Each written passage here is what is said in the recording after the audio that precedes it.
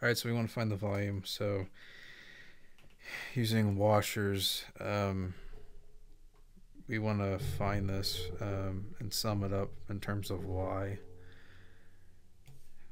That way we can. So the outer one's going to be the y squared, and then the inner one's going to be 2y.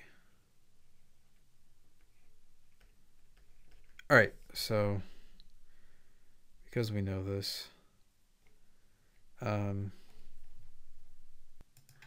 this is going to be area with regards to y is equal to pi 2y squared minus pi y squared squared.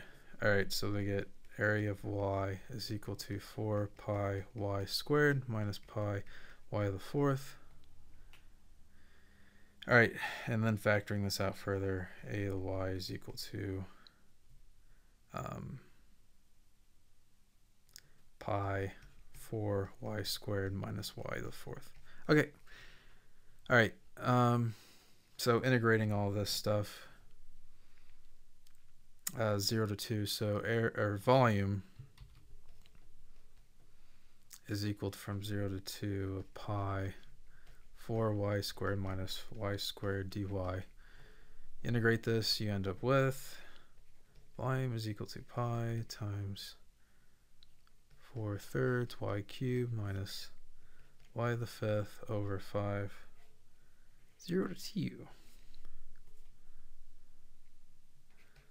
pi times 2 thirds or 2 cubed minus 2 to the fifth over 5 all right and finally volume is going to be equal to um, 64 over 15 pi. That's it